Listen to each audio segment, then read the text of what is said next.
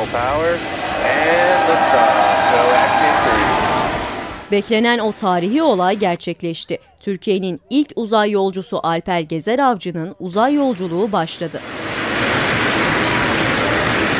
Gezer Avcı'nın uzaydan ilk mesajı ise Türkiye Cumhuriyeti'nin kurucusu Ulu Önder Mustafa Kemal Atatürk'ün istikbal göklerdedir sözü oldu. Türkiye Cumhuriyetimizin kurucusu Mustafa Kemal Atatürk'ün dahiyane sözü istikbal göklerdedir. SpaceX'e ait uzay aracı ABD yerel saatiyle 16.49'da NASA'nın Florida'daki Kennedy Uzay Merkezi'nden fırlatıldı.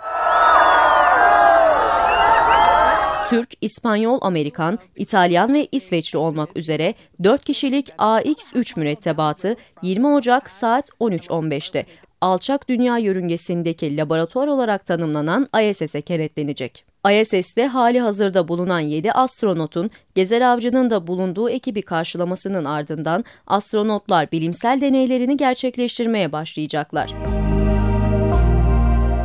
Gezer Avcı uzayda kaldığı süre boyunca çeşitli üniversite ve araştırma kurumlarında misyon için hazırlanan 13 önemli deney çalışmasını başlatacak. Kanserden bağışıklık hücrelerine, alklerden propolise kadar geniş bir yelpazeden seçilen deneyler bilimsel literatüre katkı sağlayacak. Burada 14 gün görev yapacak olan Gezer Avcı ve mürettebatın Ocak sonunda aynı uzay aracıyla dünyaya dönmesi planlanıyor.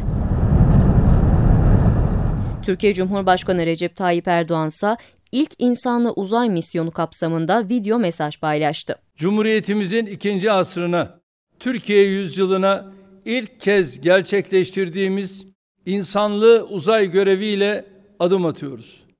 Bilim tarihine eşsiz katkılar sunmuş bir medeniyetin varisleri olarak hayalleri dünyaya sığmayan çocuklarımıza ilham kaynağı olmak adına ilk kez bir vatandaşımızı uzaya gönderiyoruz.